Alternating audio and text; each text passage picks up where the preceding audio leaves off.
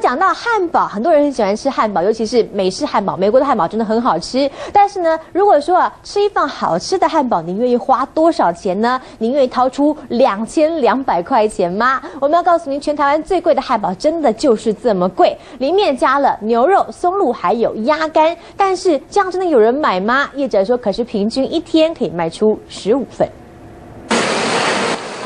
一百六十盎司和牛腹绞肉高温香煎，七十公克顶级鸭肝这么大一块，放进烤箱烘烤八分钟，看意大利 cheese 慢慢融化。I finish with the truffle butter and finish with the truffles. 眼前这一盘可是全台湾最贵的一份汉堡，看看剖面，和牛肉、鸭肝外加松露，全部都是顶级食材，一份要卖两千二台币，一口就是三百多块。它的松露入口即化，超好吃的，做的也其实很像西餐，像我们刚刚都用刀叉在吃这个汉堡。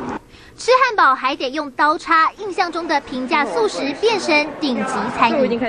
台湾餐饮市场每年创造超过三千亿的产值，而顶级的餐饮虽然只是小众，不过创造出来的利润却是相当的惊人。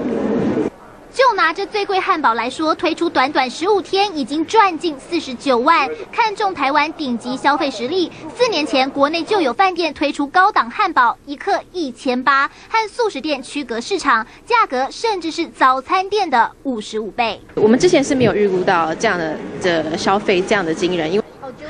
金字塔阶级消费潜力，连业者也吃惊。端出最贵汉堡，奢华享受，满足消费者的味蕾，也让业者赚进大把钞票。中天新闻郑总范新于台北曾报道。